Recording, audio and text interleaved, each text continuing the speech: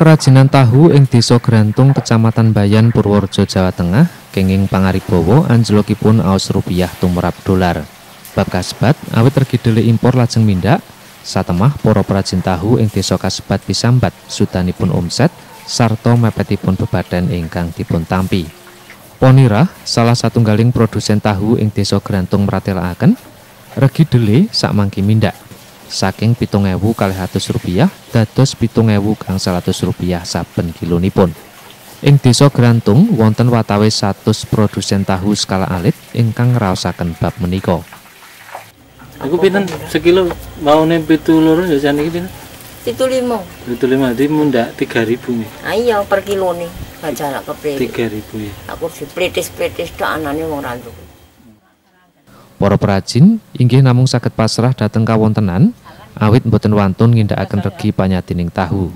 Dene ingkang dipun tempuh inggih namung nyuda ukuran tahu supados tetep nampi bebadan kangge lampahing usaha.